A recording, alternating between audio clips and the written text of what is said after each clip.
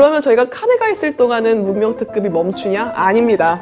저희는 다 계획이 있는 그런 사람들이에요. 그래서 저희가 미리 칸에 갔을 때 나갈 방송분을 찍고 가는데요. 바로 고잉 세트급 부심장과 함께 돌아옵니다.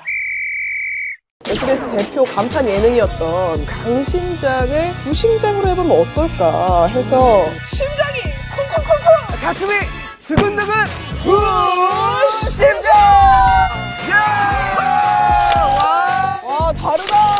와, 마음을 훔치는 것은 바로 이야기다. 아니, 아니 이렇게 허무하다고? 보여줘, 보여줘. 있다!